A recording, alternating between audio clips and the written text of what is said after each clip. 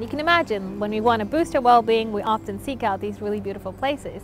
But the problem is, how do you measure these beautiful places? And that's not been an easy thing to do. Um, so luckily, I came across this website and it's this online game people play and it's really simple. You just rate these images between 1 and 10. What's happening in the background is that each image represents a square kilometer of the United Kingdom. So I've got like over 200,000 images I've been rated about 1.5 million times. So I'm using Azure to train my deep learning models because I really need GPU access.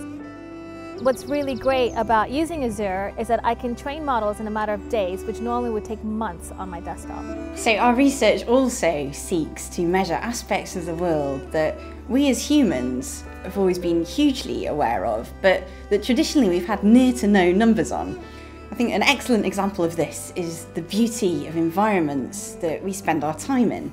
So I think many of us have this impression that that's something which can have a real impact on our day-to-day well-being. So we do find that people are happier in these more beautiful environments and they, they can be these beautiful natural scenes but I was really surprised to find that people are also happier in more beautiful city environments and people actually do find buildings as being beautiful as well. So I'm really excited about the possibilities of data science because I strongly believe that data science will change the world for the better.